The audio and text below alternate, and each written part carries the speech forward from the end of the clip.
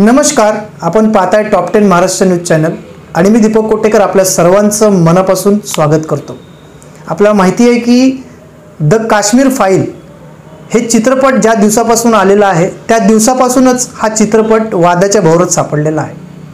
काश्मीर पंडित हा विषय जर कोणाच्या तोंडून ऐकायचा असेल तर तो एका शिवसैनिकाच्या तोंडून ऐकायची आपल्या सर्वांना इच्छा असेल.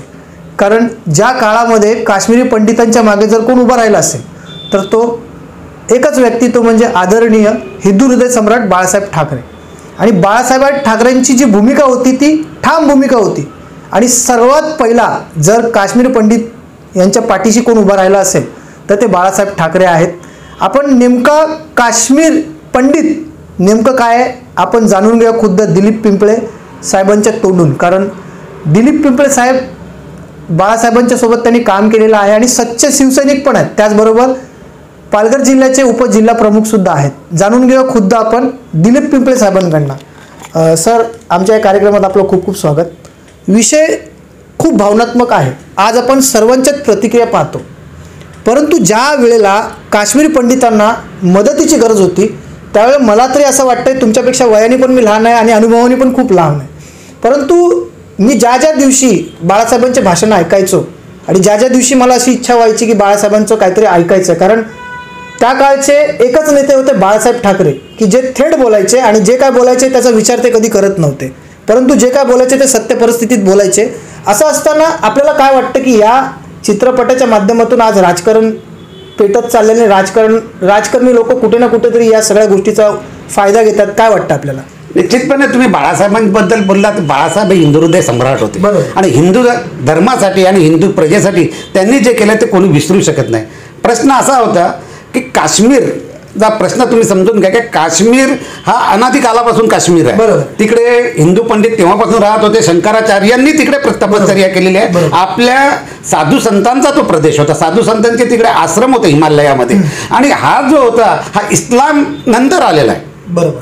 त्याच्या अगोदर तिकडे सगळे पंडित राहत होते तिकडे साधू संत राहत होते त्यांची प्रजा राहत होती. आणि ज्यावेळेस तेराशेमध्ये जेव्हा इस्लामाचं इकडे आक्रमण झालं त्यावेळेस आक्रमण झाल्यानंतर तेराशेमध्ये अनेक जणांनी त्यावेळेस धर्मांतर केलं. बघ ते जबरदस्ती केलं असेल कुठला ते कारणं वेगळी होती. त्या तो काळ वेगळा होता त्या काळातली प्रश्न वेगळे होते. परंतु ते जे बाकी राहिले ते आमचे काश्मीरी पंडित. म्हणजे प्रथम जो नरसंहार झाला काश्मीरमध्ये तो तेराशेमध्ये झाला. त्यावेळेस जो इस्लामला पुरून उरला ते आमचे काश्मीरी पंडित. परंतु त्याच्यानंतरचा जो काळ आला त्याच्यानंतर मात्र काळ खूप चांगला होता. इस्लाम म्हणजे जे मुसलमान आपले भाऊ बहिणी होते आणि पंडित हे एकत्रपणे गुण्यागोविंदाने तिकडे राहत होते. त्यांच्यामध्ये कुठला वाद नव्हता. परंतु जेव्हा ऐंशीचं दशक आलं हा प्रश्न समजण्यासाठी आंतरराष्ट्रीय राजकारण सुद्धा समजून घ्यावं लागेल. की एकोणऐंशी साली जेव्हा रशियाने अफगाणिस्तानावर जेव्हा हल्ला केला तेव्हा वेळेस अफगाणिस्तानातले जे काही हे होते त्यांचे त्यांना मुजाही सांगतात ते होते. आणि अनेक पाकिस्तानमध्ये सुद्धा अतिरेकी तिकडे तयार झाले. आणि त्या अमेरिकेने त्यांना मदत केली. आणि अमेरिकेने जेव्हा मदत केली तेव्हा प्रचंड डॉलर आणि टनावारी जे ए के फोर्टी सेवन का शस्त्रात आलं तो आपल्या काश्मीरमध्ये आला. बरोबर. जो पाक वाटते काश्मीर आता आपला सांग सांगितला होता तो गिलगिट तिकडे आला. आणि तेव्हा ऐंशीची जी दशक होतं त्याच्यामध्ये जो प्रचंड प- पैसा आला प्रचंड शस्त्र आले आणि त्यावेळेस मात्र ज्या त्या वेळेला तिकडे ज्या मुख्यमंत्री होत्या तो जियाउल हकचा काळ होता आणि त्यांनी त्याला आपल्या आतंकवादाला बढावा दिला. आणि काश्मीर त्यांना माहिती होतं का ते जिंकून घेऊ शकत नाही. त्यामुळे त्यांनी अतिरेकी पुढे केले. अतिरेक्यांना पुढे केले त्यामुळे तो काश्मीरचा प्रश्न निर्माण झाला. ऐंशीच्या सालामध्ये. ऐंशीचा दशकच अत्यंत खतरनाक होता. तो वेळ अत्यंत खतरनाक होती. कारण ऐंशीच्या दशकामध्ये तिकडे शेख अब्दुल्ला होते. शेख अब्दुल्लाने अनेक वर्ष काश्मीरवर राज्य केलं होतं. परंतु नंतरच्या काळामध्ये ते कट्टरवादाकडे झुकले गेले होते. आणि प्रथम जर काश्मीरी पंडितांना जर कोणी नाव ठेवलं असेल मुखबीर म्हणजे ते भारताचे हेर म्हणून हे शेख अब्दुल्लाने सांगितलं. त्याच्या शेख अब्दुल्लाने सांगितलं. आणि त्याच्यानंतर जे आले जे पदावर आले.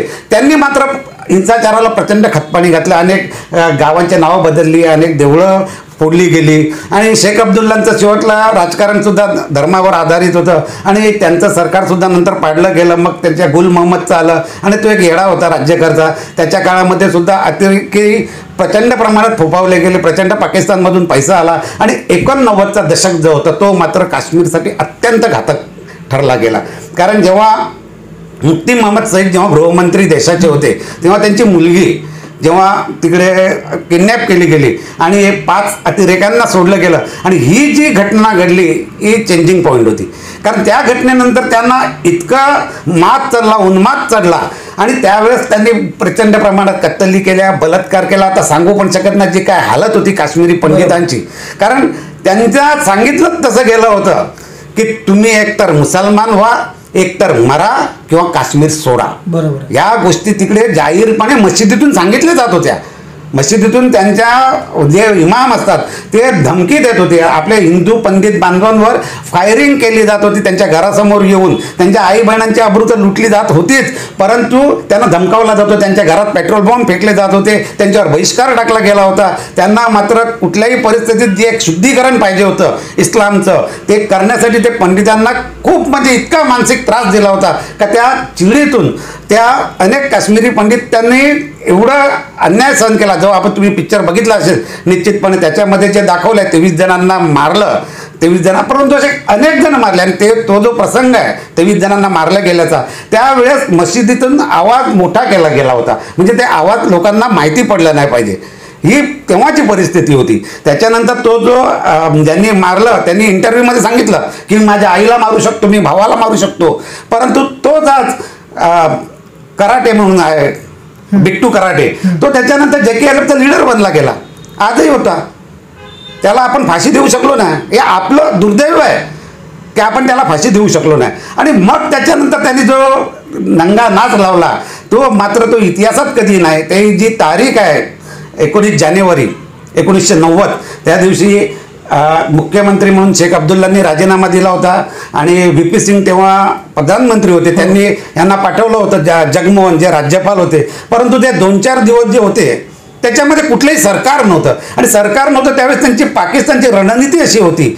आणि हे रेकॉर्डवर आहे. मी जी वाचलेलं सांगतोय किंवा ऐकलेलं सांगतोय की रेकॉर्डवर आहे. त्यांना त्यावेळेस पाकिस्तानने त्यांना सांगितलं होतं. तेव्हा बेंजीर भुत्तो होते त्यांच्या त्या पिक्चरमध्ये सुद्धा तिथे क्लिप दाखवला जातोय. आझादी आझादी आझादी. आता वेळ बघा कशी येते माणसावर. ज्यांनी ज्या बेनझीर भुत्तोनी ज्यांनी अतिरेक्यांना मदत केली अतिरेक्यांनी वाढवली त्यांची हत्या सुद्धा दोन हजार सातमध्ये त्याच अतिरेक्यांनी केली. बरोबर हे भोगावं लागते. आणि त्यांनी ती भोगलं. तर तेव्हा जो परिस्थिती होती एकोणीस जानेवारी एकोणीसशे नव्वद. हा या दिवशी जेव्हा म्हणजे जी प्रचंड कत्तल झाली आणि आपले काश्मीरी बांधव आपले पंडित तिकडून निघाले ह्याचं कारणीभूत ती बॅकग्राऊंड गेल्या दोन वर्षात बनवली गेली होती. त्यावेळेस ज्यांचे प्रचंड आपले त्यांचे नेते होते भाजपचे त्यांची हत्या झाली होती. ज्यांनी मकबल भटला फाशीची शिक्षा सुनावली होती.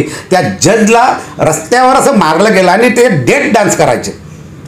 लक्षात घ्या मी काय बोलतो? डेट डान्स ते काही या चित्रपटामध्ये दाखवू शकत नाही. त्याचे मारल्यावर असं नाचायचे गोल फिरून आणि फायरिंग करायचे. आणि त्यांची जी मिसेस होती पत्नी अजूनही मिळालेली नाही. तिचं काय झालं कोणाला माहिती नाही आहे तर ही जी परिस्थिती होती त्यामुळे काश्मीरी पंडित मनातून प्रचंड घाबरले होते. आणि वीस जानेवारी रोजी ज्यावेळेस शेख अब्दुल्लांनी आपला फारुख अब्दुल्लांनी राजीनामा दिला आणि जगमोहन यायला निघाले इकडे राज्यपाल म्हणून त्या चार दिवसामध्ये तिकडे जो रक्तरंजित होळी खेळली गेली त्याला इतिहास कधी क्षमा करणार नाही. इतका तो प्रचंड असा तो झाला आणि ते अन्याय अत्याचार सांगू शकत नाही. ते याने निघाले हो.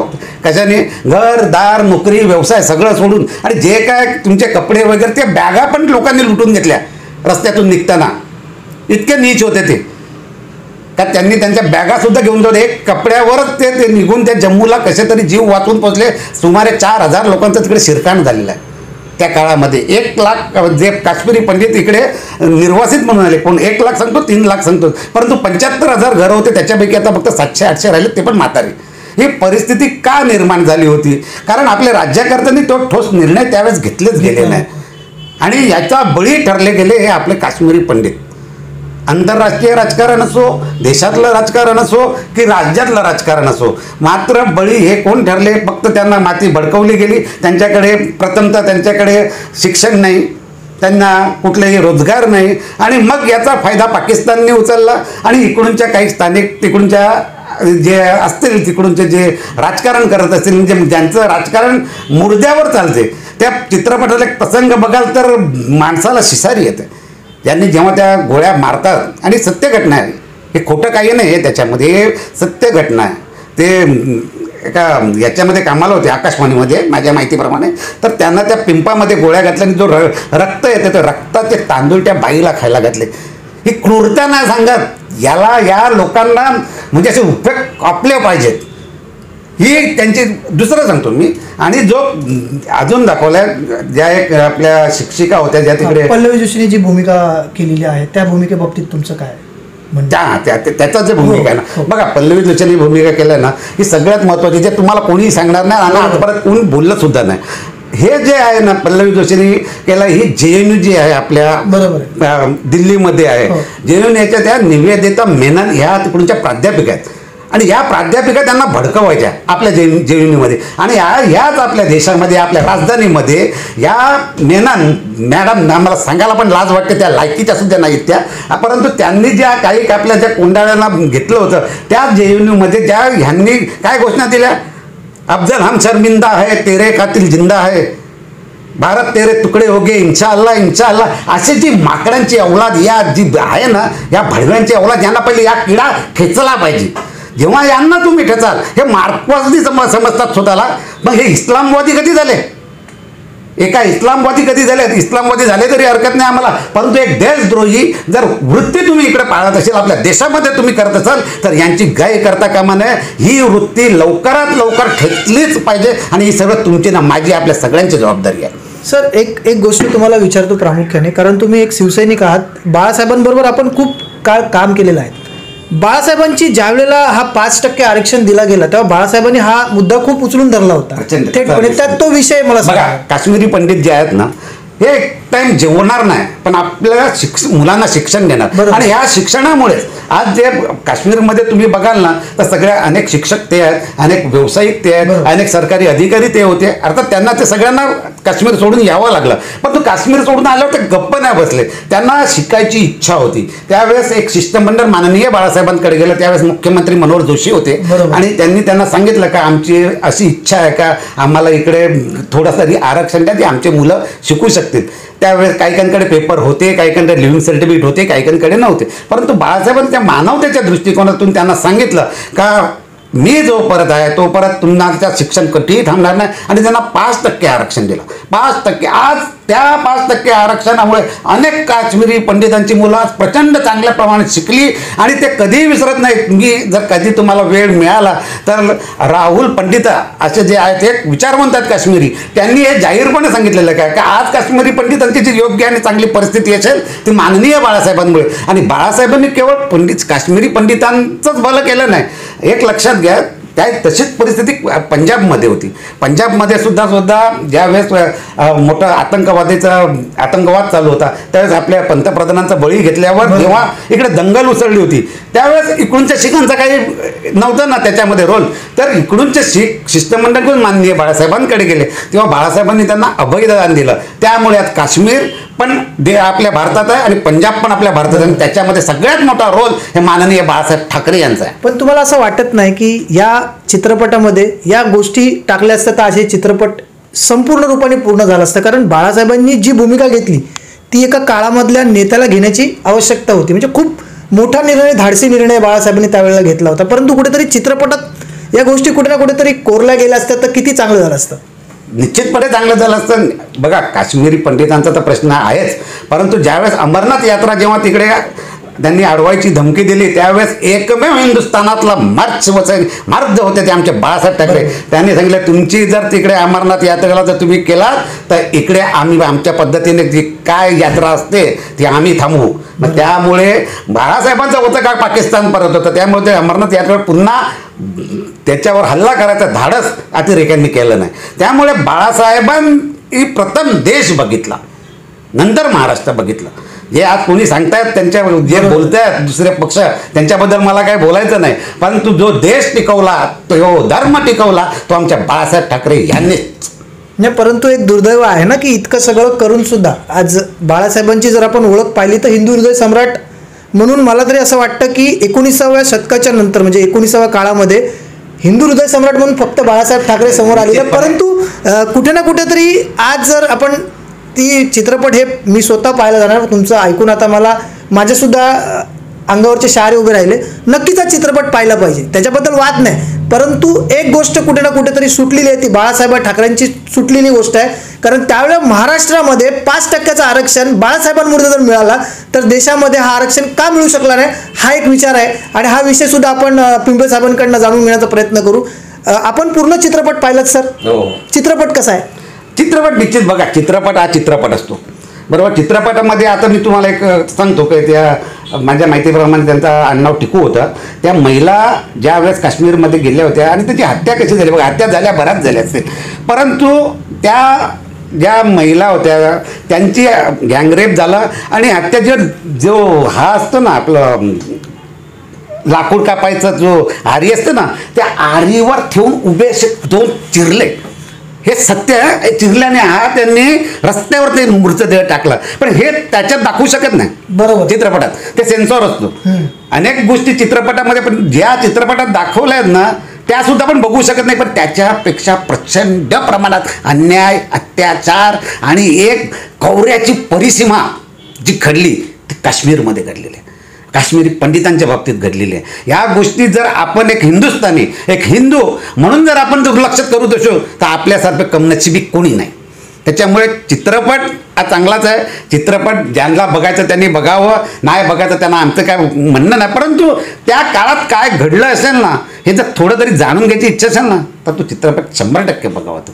शंभर टक्के. आज जे आपण ज्यांना मोठे केले आपल्या मुंबईमध्ये महाराष्ट्रामध्ये देशामध्ये ते आज कुठल्या लायकीचे निघाले ते आपल्याला कळलेलं आहे. त्यांनी काय विरोध केला? त्याच्यामुळे आता अशा लोकांचे चित्रपट बघायचे की नाही हे आता आपण ठरवण्याची वेळ आलेली आहे. नक्कीच आपण खूप छान बोललात. खरं तर आपण या चित्रपटाबाबतीत ज्या काही गोष्टी आज चालत होत्या आणि जो काही राजकारण चालला होता परंतु या सगळ्यांमध्ये माझी मनापासून इच्छा होती दोन दिवसापूर्वी मी विचार करत होतो की कुठच्या तरी एका जुन्या शिवसैनिकांकडून मला हा विषय जाणून घ्यायचा आहे. कारण मी त्यावेळेला खूप लहान होतो आणि त्यावेळेचा मी मूळचा शिवसैनिकच होतो. प्रभादेवीला मी राहणार होतो त्याच्यामुळे शिवसेनेचं नातं आणि एका मराठी मुलाचं नातं म्हणजे एका मुलाचं आणि बापाचं नातं असं आपल्याला मुंबईत पाहायला मिळालं.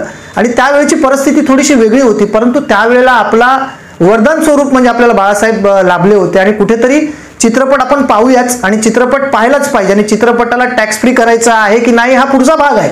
हा विचार पुढे केला पाहिजे. परंतु हा चित्रपट आपण पाहिला पाहिजे. जेणेकरून त्या काळची परिस्थिती काय होती ही खरंच अ, आपल्याशी बोलून खूप बरं वाटलं आणि नक्कीच पिंपळेसाहेब ज्या गोष्टी बोलल्या त्या गोष्टीकडे निश्चय आपण विचार करू. तुर्ता इथेच थांबतो. जय हिंद जय महाराष्ट्र जय शिवराय.